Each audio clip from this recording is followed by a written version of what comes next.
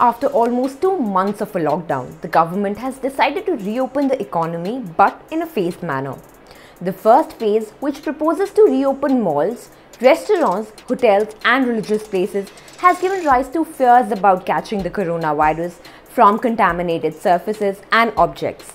For long, it has been argued that the surface transmission is a potential risk and that the virus can stay on certain surfaces for as long as 3 to 7 days whereas studies have shown that the life of the virus is as much as 3 days on plastic and steel. On the other hand, on surfaces like cardboard and copper, it can survive for a good 24 hours and 4 hours respectively. Research has also shown that the virus can remain suspended in air for nearly 30 minutes.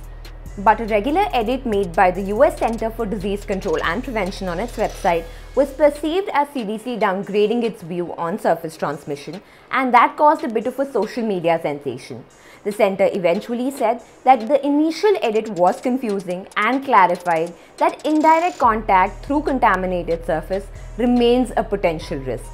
But it added that this isn't thought to be the main way the virus spreads.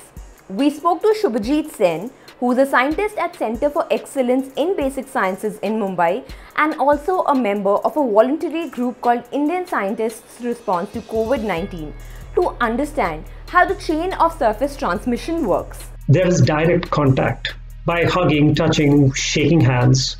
And then when a positive person speaks or say even spits or coughs or sneezes or simply exhales as I am doing, droplets are continuously being released.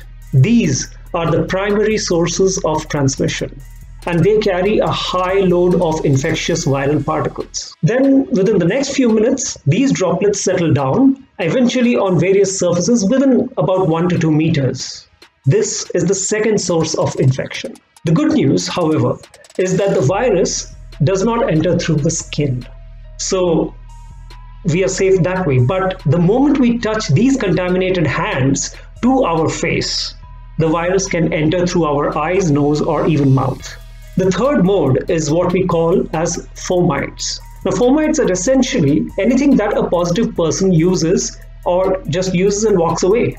Things like towels, pillows, handkerchiefs, utensils, and so on. The main problem with containing COVID 19 infections is that we can't tell who is infected. As Dr. Sen pointed out, the virus can knowingly or unknowingly infect a healthy person. And as per the Union Health Ministry, nearly 80% of India's patients are asymptomatic, which makes it difficult to identify. So, is there risk associated with stepping out of our homes? Yes, there is a risk. Of course, a lot depends on how many viral particles were shed by a particular infected person while sneezing or coughing or speaking on a particular surface.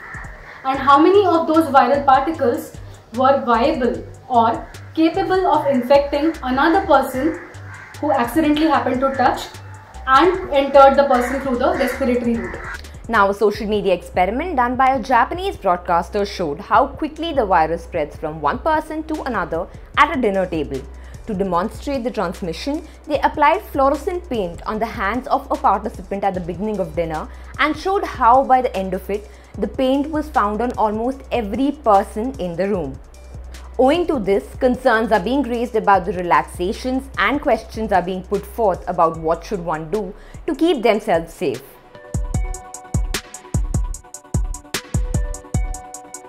As the lockdown is lifted, the only way for us to be careful is to be self vigilant and self aware of everything we really touch and maintain very, very high levels of personal hygiene. Currently, the case doubling times are slightly less than about two weeks. But once the lockdown lifts, if people continue to maintain physical distancing and sanitary caution, with proper care, we can ensure that the doubling time does not become any shorter. If it does, however, we might see a second wave of this pandemic. India added more than 9,000 cases on Thursday, taking the total number of coronavirus patients in the country to over 2 lakh. With the reopening of all activities except for that in containment zones, it is important for each one of us to exercise caution and be wary. Wash your hands, wear a mask while going out, avoid touching common surfaces, and then your face. And if you come across any unverified information, post, report, then just send it to us at WebQoof and we'll verify it for you.